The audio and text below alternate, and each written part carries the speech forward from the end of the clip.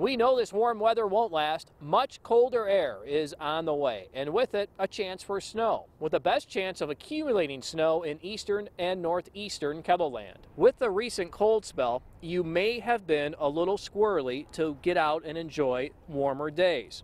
Well, hopefully you were able to take advantage of the past couple of days with dry conditions and warm temperatures, but that won't be the case for tomorrow.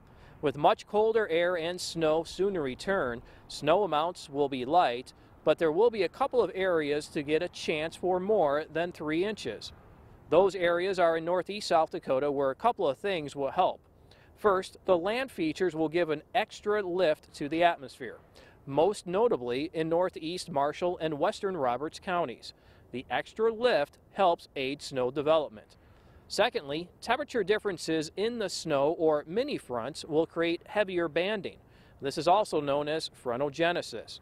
This too will aid in higher snow totals. Don't get overly excited about winter getting here and staying here, as temperatures next week will get above average once again. In fact, by Thanksgiving Day, we may return to the 50s. For KELOLAND weather, I'm meteorologist Scot Mundt.